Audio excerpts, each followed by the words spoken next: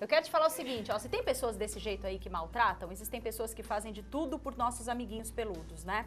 Como a gente viu agora há pouco, vários lugares do mundo abriram as portas dos seus estabelecimentos para acolher os animais. Agora a gente vai conhecer a história da Giovanna Berti.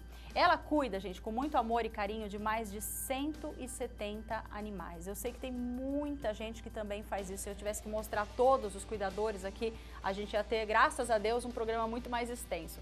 A gente escolheu essa história para te mostrar hoje. Não é raro cena de maus tratos aos animais. Mas na contramão dessa história, existem pessoas como a Giovana, que dedica 100% do seu tempo para cuidar dos bichinhos. Isso daí minha mãe conta que se morresse algum bichinho em casa, eu ficava uma semana sem comer.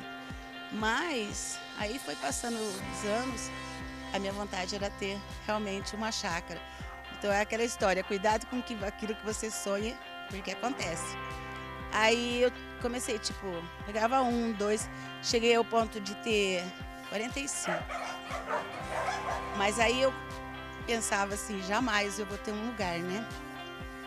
Mas ah, eu tomei conta de uma idosa maravilhosa que, que já foi para Deus e, e ela amava animais também. E aí ela deixou como herança a casa dela para mim. Aí eu falei, eu falava para ela, eu vou trocar troco com uma chácara. Ela falava, você faz o que você quiser. Depois de conseguir sua tão sonhada chácara, Giovana tem mais espaço para cuidar dos animais. Atualmente são mais de 170 cachorros que recebem amor e dedicação. Aqui cada um tem sua história. Cada um tem, eu falo assim, que cada um, quem vê meus cachorros agora, que as pessoas costumam falar que são um pouquinho gordinhos, que bem cuidados e tal, é, não sabe o que eles passaram. Vem cachorro é, com sinomose, vem cachorro machucado, com bicho. Aí o que, que acontece?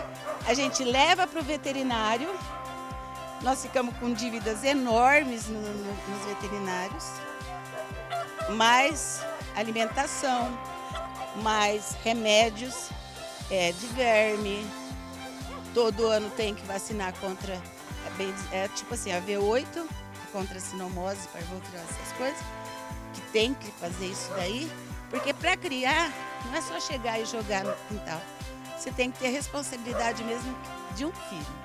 Para mim, eles são filhos. Os gastos incluem alimentação, remédios, despesas veterinárias e produtos com a higienização. Então, o que, que acontece? Nós temos que.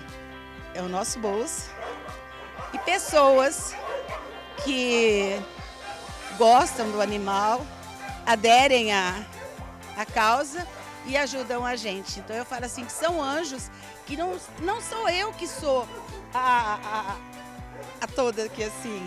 São essas pessoas que ajudam que fazem a maior diferença.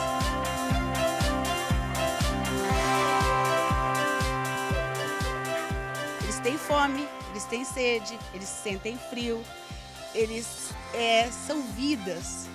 E essas vidas poderiam estar mortas já ou sofrendo. Pelo menos eu não consigo pegar todos, mas eu pego aqueles pelo menos que dá. E esses que estão aqui, eu acredito que estão. Eu falo que eu não gosto nem que chama que abrigo aqui. Aqui é um lar, porque eu vou lá, eu beijo cada um, eu vou ali, eu beijo, eu abraço.